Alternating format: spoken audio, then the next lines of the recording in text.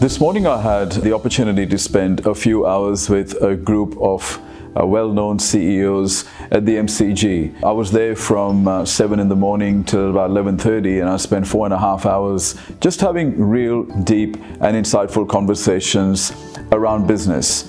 Now, these people are accomplished CEOs who have built multi-million dollar companies. Uh, in many cases, they've built multiple companies uh, and sometimes even across different industries. And it's really interesting because when I have the opportunity to sit with people who are highly accomplished, I can't help but compare the conversations I used to have with the people that I grew up with in many cases uh, when I was younger. The type of people that I used to spend time with when I was an underachiever compared to the type of people I have the opportunity to spend time with today as I'm achieving more and more for my life. Now the interesting thing is that as I reflect back, I can now start to see how our thinking is the main reason we end up where we end up. Now this is something that most people don't see because most people cannot see their own blind spots. Most people can't really think about what they think about and they can't always make a connection about the way they think and how it results in the outcomes that they're producing in their life, whether it be in the area of health or peace of mind or in relationships or career. So one of the things I started to think about is when I was young and I used to spend time with people who were massively underachieving and they were struggling, that there was never any question that they raised which would imply that they really wanted to become successful. In fact, they were asking themselves questions, but the types of questions that they were asking themselves were what I now consider to be questions that lack depth.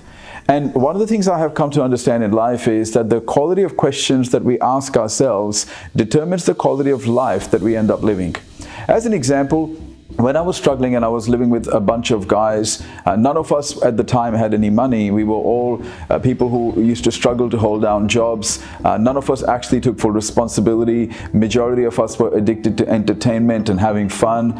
And we just wanted to go out and get drunk and none of us were actually thinking about a long-term future. And I realized that I'm so fortunate because for some reason, through the interaction that I've had with mentors over the years, I was able to break through those patterns and create a vastly superior and vastly different life for myself today. And so many of those people who I used to spend time with back when I was very young, a lot of them are still stuck in that life and that's not uncommon. You will actually see that until people elevate their thinking, they don't really transform their lives and lifestyles even when they're surrounded by opportunities. Because if the thinking is restricted, then the life also becomes very restrictive.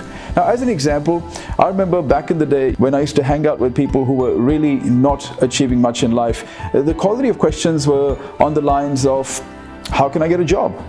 You know, or what kind of job can I get, or can I get a job?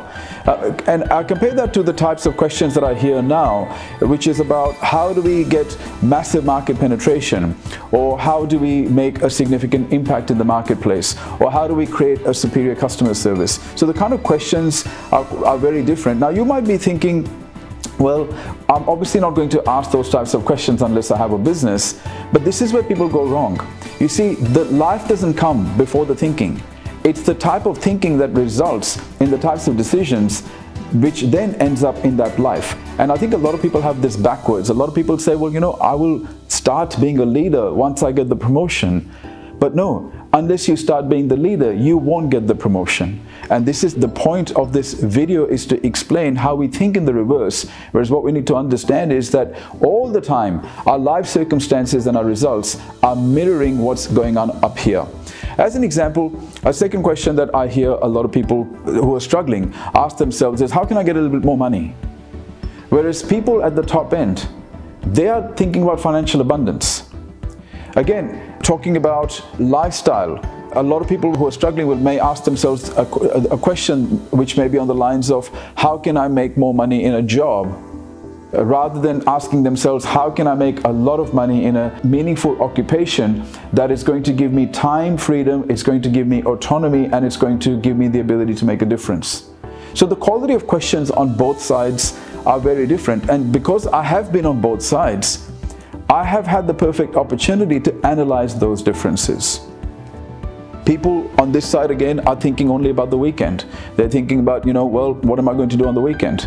But people on the side of success who are also living significant lives, they're not just thinking about the weekend. They're not even thinking about what they're going to do in a year from now. They're thinking 10, 15 years ahead.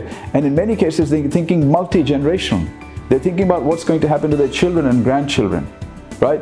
So there is also this concept, and this has been researched by the way, that people who tend to struggle in life tend to be more short-term thinkers. They succumb to instant gratification. Whereas people who are highly successful, they tend to be long-term thinkers. They are thinking 15 years ahead. In fact, one study done by a guy called uh, Dr. Banfield, which is uh, something that's available on Google, uh, actually talked about the fact that one of the biggest predictors of economic and social mobility is long-term orientation. And you'll find that in many cases people who are struggling but continue to struggle perpetually are short-term thinkers. They're not really thinking long-term. The other difference I have found is that people who are struggling, they tend to act like a victim they actually genuinely believe that they're victim of circumstances. Whereas people who are living lives of success and significance, they tend to believe that they have the biggest influence on the results. Yes, that there are circumstances. Yes, they may be, they may even believe in the concept of destiny or fate. But largely they believe that 80% of what happens in their life or 90% of what happens in their life, they can influence. So there's a fundamental difference in attitude. There is a fundamental difference in perspectives. There's a fundamental difference in mindset. And that difference makes all the difference because how we think determines how we approach life, how we see problems and how we see challenges. Do we see challenges and problems as something that must be avoided because it's negative? Or do we see problems and challenges as something that is necessary, essential for growth and success? These are the types of differences in thinking that to me is very, very clear results in us creating our own destinies without even realizing because we do it unconsciously, we do it blindly. So the question is, how do you think? Are you the type of person who believes that circumstances are greater than you? Or do you believe that you are greater than the circumstances? Do you believe that problems are something that must be avoided? Or do you see that problems are necessary for growth? Do you see that failure is something that is negative? Or do you see failure as the other side of success? Do you see that it is more important to have fun right now and not think about the future? Or do you think that it's more important for you to be serious right now so you can have fun in the future? How do you really think? This is a great opportunity for you to start to assess your mental and thinking patterns and try and identify the link between how you think and the results you're creating in your life. Do you really have high standards when it comes to your life? Do you really value discipline or do you value having fun right now and succumbing to instant gratification? You will start to see that if you really get serious, you'll start to identify clear patterns between the way you're thinking and the decisions you're making, the behaviors you're engaging in, and the results it's producing.